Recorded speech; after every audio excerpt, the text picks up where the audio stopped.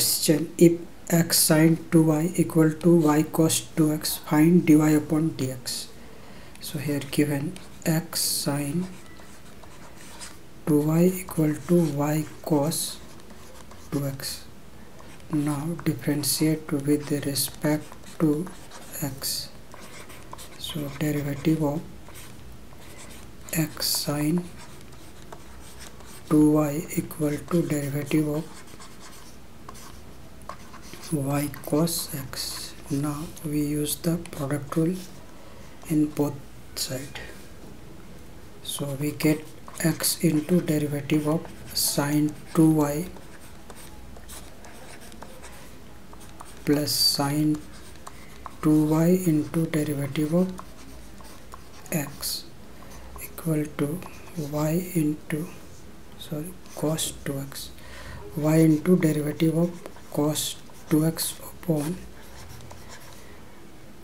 dx plus cos 2x into dy upon dx implies that x into इसमें sine का sine x का definition cos x होता है तो यहाँ पे ये होगा cos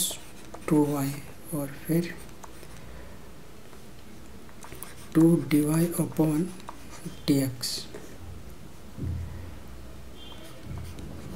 plus sine two y और इसका होगा वन और इसमें वाई और कॉस एक्स का होता है माइनस साइन एक्स और तो ये होगा माइनस साइन टू एक्स और टू एक्स का होगा two plus cos two x into d y upon d x so implies that इस वाले पार्ट को लेफ़्ट साइड में ले आएँगे तो ये होगा। पहले इसको लिख लेते हैं सिंपली ये two x cos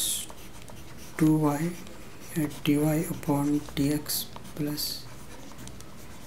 sine two y equal to minus two y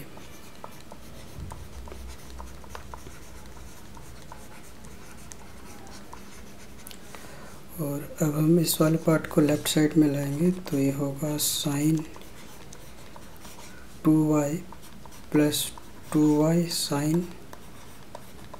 two x equal to और इस वाले पार्ट को राइट साइड ले जाएँगे तो ये होगा cos two x d y upon t x minus two x cos